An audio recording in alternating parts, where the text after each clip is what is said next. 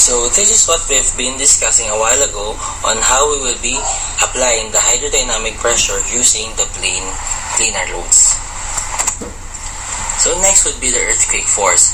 So technically, the our softwares are designed to have automatic seismic loading using different seismic parameters but for building structures only. Since we're dealing with non-building structure, this may give uh, different results. So in Midas, we can have an option to convert nodal inertia to nodal loads. So going to the structural model,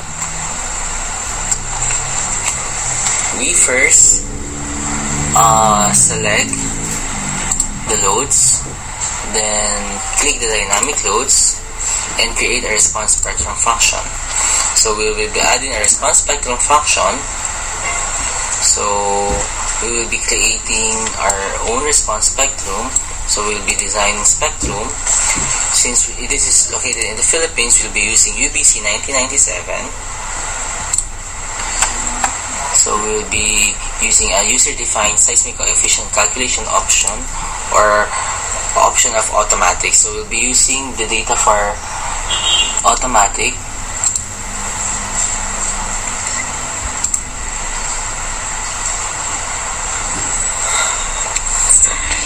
So since this project has uh, although this project is located in the Philippines, since we already have a site-specific data for this project, we will be using IBC 2009 or the ASCE 705.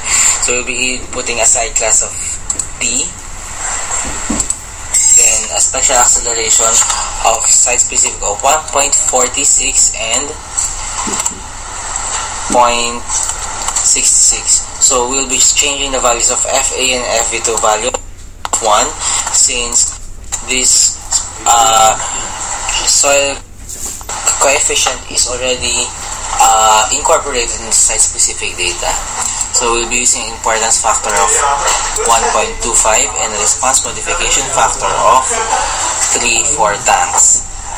So we'll be just using the maximum period of 6 and the long transition period of 4 seconds. So click OK. Then we will see now the response spectrum to be used. Then we'll click OK. After which, we will be using the response load cases. Then the load case will, will say EQX. No, the direction will be X then the excitation angle is 0 since we'll be acting it on the x direction. Then the scale factor will be I over R, which is 1.25 over 3. Then the period modification factor is also 1. We'll be clicking the function name of our spectrum. Then we'll be applying the damping method. So the damping method for steel tank is 0.02. Then we'll click OK. Then we'll click the correction by damping ratio and maintain the interpolation of logarithm, then we'll not needing to click the accidental eccentricity and we'll click add. Then click close. After adding it, we'll be needing to run the analysis. So after running the analysis, for presentation, we already run this program. So we'll be showing you the results of the inertia from the response spectrum. So going to the results table, clicking the nodal results of response spectrum. So clicking the spectrum load case earthquake X we will be needing all the modes so we will not be clicking any modes. Then we will be display, displaying all the nodal forces on all the nodes. So this instead of just applying it on a nodal inertia we'll be converting this nodal inertia to nodal loads by clicking the right click convert to nodal loads then click the spectrum load cases, then converting it to earthquake X for our earthquake, then click OK. So, of course, the analysis will be deleted since we, uh, we're incorporating a new load, so we'll click yes.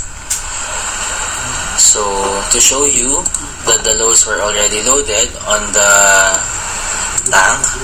We can show you the static load case, the loads display. So we can see that the loads were already distributed on the whole tank.